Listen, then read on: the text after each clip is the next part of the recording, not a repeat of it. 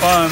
Been saving up the years. Saving their change for years. So this dad and his son took their stash to a machine in a supermarket. The machine would add up their change and give them the opportunity to turn it all into paper money.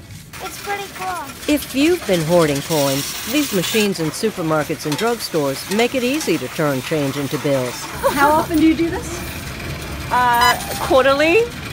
You come quarterly? Yes, because there are a lot of coins. That's all money, right? Last time, um, a month ago, we got like what, a hundred something. And now? Now 35. But we found the catch. You pay for the Coinstar service 10.9%.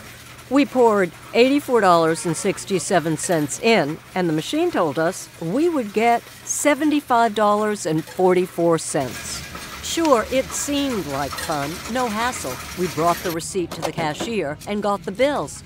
But we gave up over $9. Another alternative put your coins in wrappers and take them to the bank. That's usually a free service.